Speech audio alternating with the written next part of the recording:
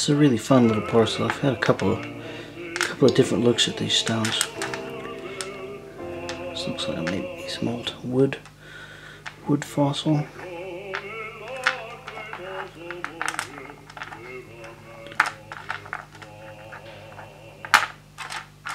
Here's the one I'm really interested in. I don't ever remember seeing a stone like this. It's it looks like it's a a black nobby with crystal opal all the way around it. It's got reds and greens. I'm not even sure what I would do with this thing. Polish up the outside or something. I don't know. Here, let's see if I can show you this in the light.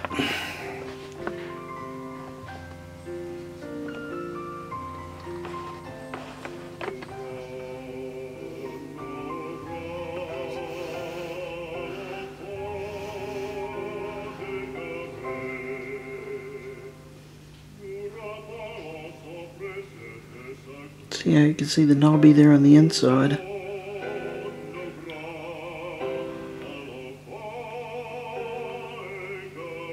That's really cool.